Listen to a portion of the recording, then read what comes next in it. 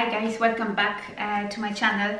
Hopefully everybody from you are uh, happy and safe in this difficult situation, but from all of the bad situation you can find some positives. So that's why I'm uh, trying to uh, entertain your time as well. And this time I would like to motivate you to deep clean your oven. So the people which knows me, they know that I love to bake, but I hate cleaning.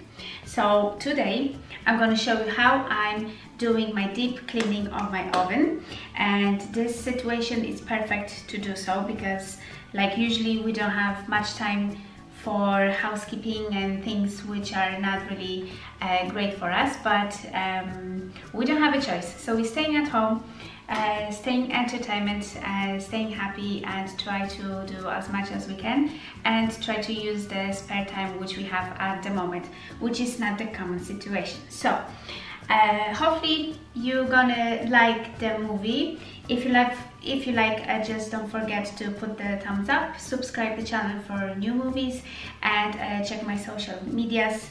All the links you're gonna get uh, in description box down below. And enjoy. Okay guys so this is how my oven looks right now. It's disaster.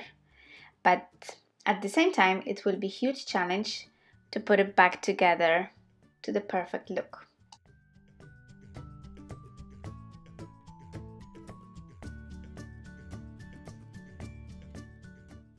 First what I'm gonna to do, I'm gonna take off all the moving parts from my oven and all the silver parts which are on the sides.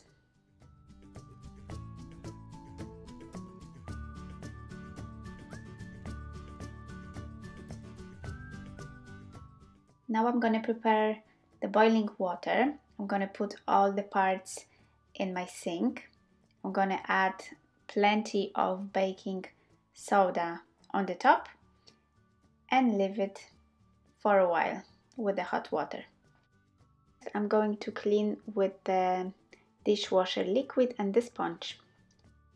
And now the, all the magic is happening. I'm using the sieve and the silver foil to clean it and you can see the results are amazing.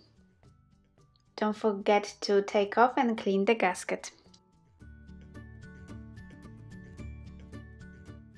And now you can see the results are amazing.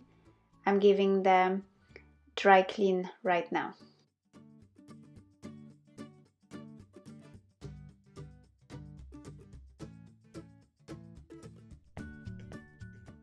And put it back the gasket on the place.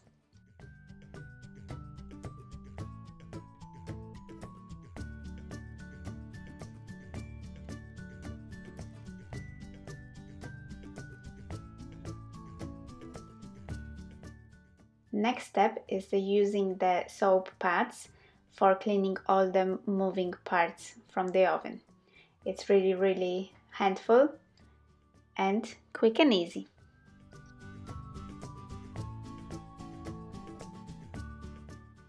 This stage you have to be very patient and do it really really properly.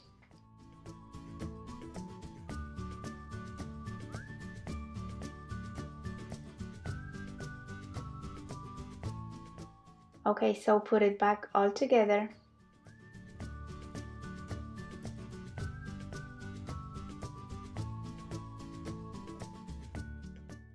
It's time to clean the glass, but be very, very careful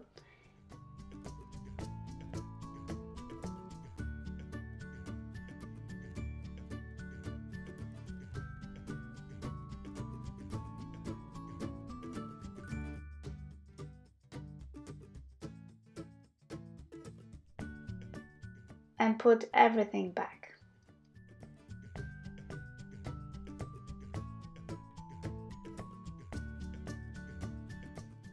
I think I finished. It looks really, really good and amazing. I'm so proud of myself.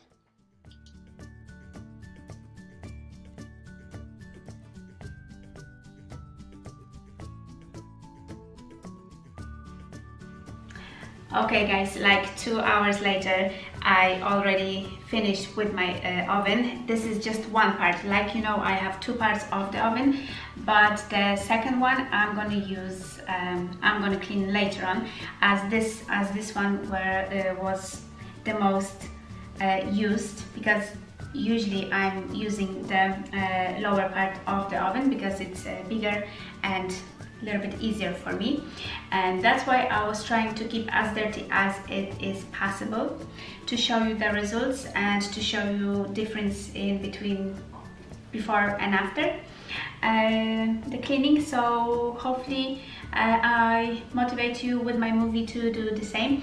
If you're gonna do that don't forget to make the pictures before and after and uh, tag me on Instagram on hashtag me and uh, I'm gonna I'm gonna see uh, what a great job you did as well uh, in your homes and um, hopefully I'm gonna see you soon. I, I have plenty of recipes and movies projections uh, to do in the future so uh, stay tuned don't forget to subscribe to the channel.